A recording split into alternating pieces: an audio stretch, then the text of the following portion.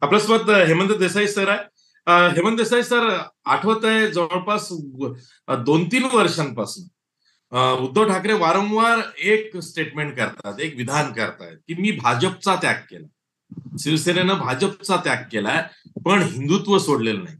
भाजप सोडली म्हणजे हिंदुत्व सोडलं असं होत नाही. असं ते बोलतायत. तर या वाक्यामध्ये एक मेक अशी दिसते की मी हिंदुत्व सोडलेलं नाहीये आणि भाजप काही हिंदूंची मक्तेदारी घेऊन नाहीये. म्हणजे Uddhav Thackeray at the same time चॅलेंजही करतात हिंदुत्वावरनं भाजपला आणि ऍट द सेम टाइम हेही सांगतायत की मी हिंदुत्वही आहे माझं पण मी सेक्युलरचा हात धरलेला आहे. म्हणजे मी दोन्ही डगरींवरती खेळतोय. हिंदुत्व काही सोडत नाहीये. भाजपचा मी त्याग केलाय. हिंदुत्व सोडलं नाही. याचा लार्जर पर्स्पेक्टिव्हमध्ये शिवसेनेला अभिप्रेत असलेला अर्थ काय असू शकतो?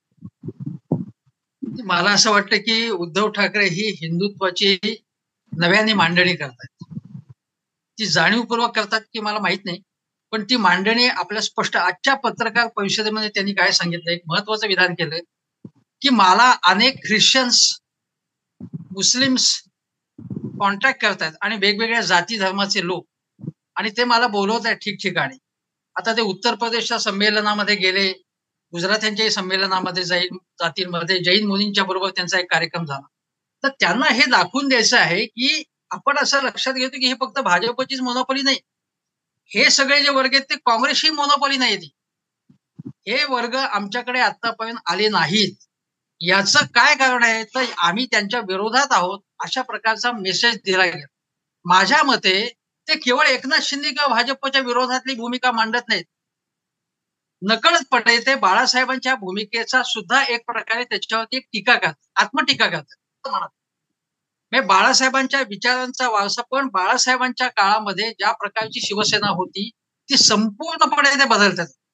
म्हणजे खंडणी सेना म्हणून जी काही शिवसेना ओळखली जाते त्याच्यामुळे उद्योजक आणि व्यापारी वर्ग यांच्या पुढे ती एक ठराविक इमेज होती. तुम्हाला आठवत असेल अलीकडच्या काळात औरंगाबादमध्ये असे आरोप झाले महाविकास आघाडी सरकार असताना. ती खंडणी गोळा केली जाते आणि जणू काही उद्धव ठाकरे यांची सेना करते. पण थेट आरोप करण्याचा असं धाडस झालं नाही. परंतु हा भाग आहे की ठिकठिकाणी शिवसेनेची ती इमेज होती. दुसरी गोष्ट अशी की भिवंडीच्या दंगली झाल्या.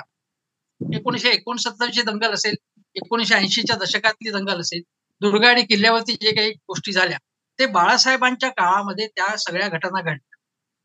त्यानंतर बाळासाहेब हयात असताना सुद्धा ज्या ज्या सभा मी उद्धव ठाकरेंच्या ज्या ज्या सभा ऐकल्या त्या प्रत्येक वेळी ते असं म्हणत आले. किंवा त्यांच्या निधनानंतर की मुंबईतल्या हिंदूंचं रक्षण हिंदूंचं रक्षण म्हणजे सर्व हिंदूंचं रक्षण.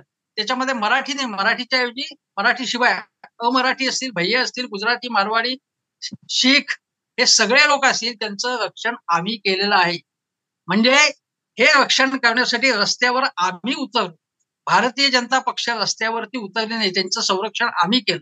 मुंबईमधल्या आपण माहिती आपल्याला परळच्या भागामध्ये जे शीख गुरुद्वारा तिथे शिखांची बरीच दुकानं किंवा आहेत त्यावेळी मला आठवते की त्या बाळासाहेबांनी सांगितलं होतं मी काळजी करू नका अशी शिखांच्या विरोधात दंगली दंगली झाल्यानंतर तुमचं आम्ही रक्षण करू.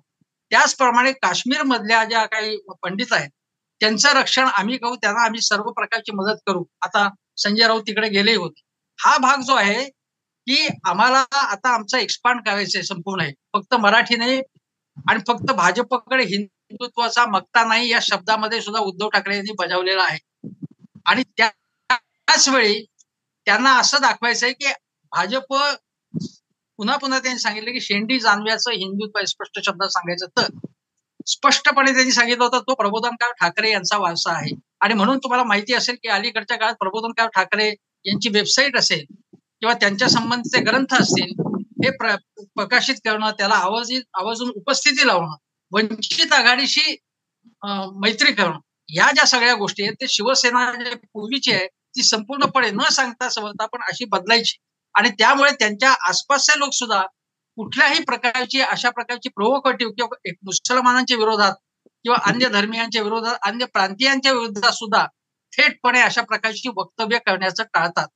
हे त्यांचं अतिशय चांगली गोष्ट आहे स्वागत करण्यासारखी गोष्ट आहे.